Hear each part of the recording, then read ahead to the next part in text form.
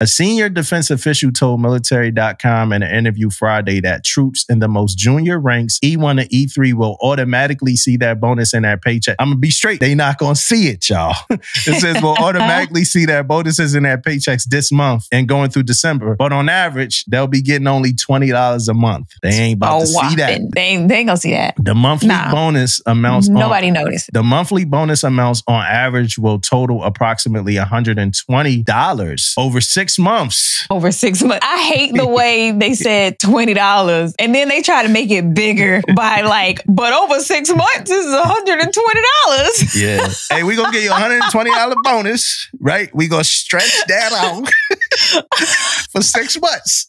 we gonna stretch six months, you gonna get twenty dollars. like, Oh, dog, they playing. That sound like they are playing. if y'all need help managing that money, don't go to the CFS. Hit my mom up. My mom can show you how to make a $120 stretch for six months.